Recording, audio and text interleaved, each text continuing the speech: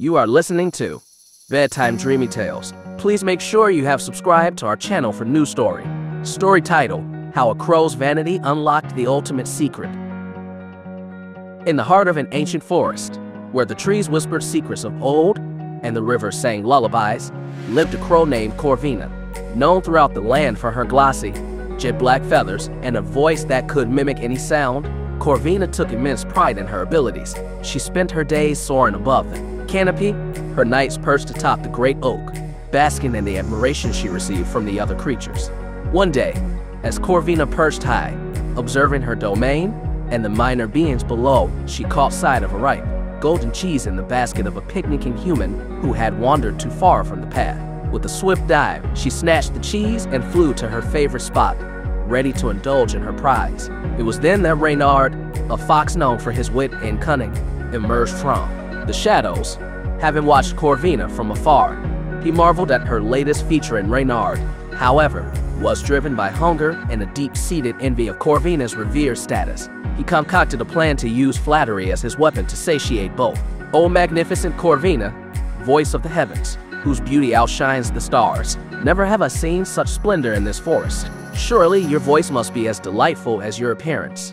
Would you honor me with a song? Reynard called out, his voice dripping with insincere admiration. Corvina, unaccustomed to resisting flattery, felt a surge of vanity. The thought of proving her superiority and further securing her fame was too tempting. Ignoring the faint whispers of caution in her mind, she prepared to sing. As the first note escaped Corvina's beak, the cheese plummeted towards the ground, where Reynard caught it with glee. The fox's laughter echoed through the forest, a cruel reminder of Corvina's folly. The crow, humiliated and hungry, watched as Reynard disappeared with her prize. It was a bitter lesson in the dangers of vanity and the importance of discerning truth from flattery.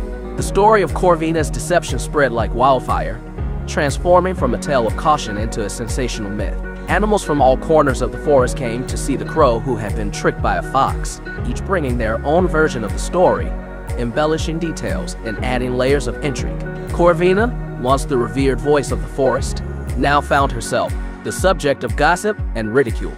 Determined to restore her reputation and uncover the truth behind Reynard's deceit, Corvina embarked on a journey that took her beyond the familiar confines of the forest. She sought the wisdom of the ancient tortoise, Tiberius, who had lived through the ages and witnessed the rise and fall of many creatures. Tiberius listened to Corvina's tale with the patience born of centuries. When she finished, he shared with her the timeless wisdom of discernment. Not all praise is truth, and not all critics are foes. The wise learn to see beyond the words to the intentions they cloak.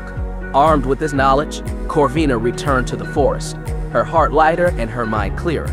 She approached her fellow forest dwellers with humility, admitting her mistake and sharing the lessons she had learned. Rather than singing for vanity's sake, she used her voice to tell stories that held truths, weaving cautionary tales and fables that taught the creatures of the forest to look beyond the surface, to question, and to think critically. In time, Corvina's tales became as sought after as her songs once were, and she was respected not just for her voice, but for her wisdom. The story of her fall and rise spread far and wide, serving as a beacon of truth in a world where flattery often masked deceit. The fox, Reynard, who had hoped to see Corvina's downfall, found himself ironically outwitted.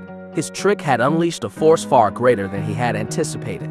A crow not just with a voice, but with a story that could change the hearts and minds of the forest's inhabitants. Corvina's journey from vanity to wisdom became a legend, a reminder of the power of discernment in a world brimming with both truth and deception.